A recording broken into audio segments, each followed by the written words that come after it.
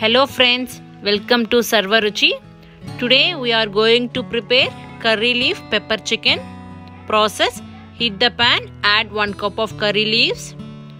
Roast it well for 10 minutes. After 10 minutes, it roasted well, it turns crispy, make it cool slightly, transfer to a blender. Add 1 4th cup of water, blend it, blend it into a coarse paste, keep it aside. Now heat the pan, add 1 4 cup of oil, 6 cloves, 1 inch of broken cinnamon stick and 1 tablespoon of fennel seeds. Fry it. Now add 1 cup of sliced onions, 20 green chilies, don't break the green chilies. Saute it well for 2 minutes.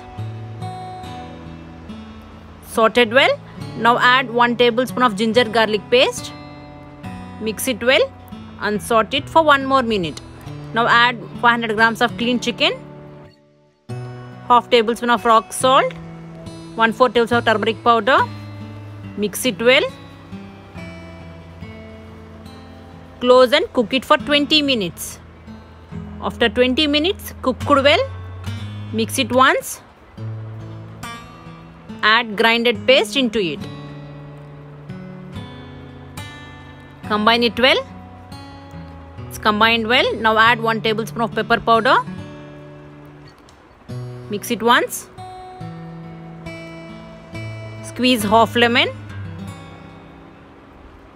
Mix it again and cook 1 minute. Off the flame and transfer to a plate. Finally, curry leaf pepper chicken is ready. Please try at home friends. Please subscribe and click the bell icon for notifications.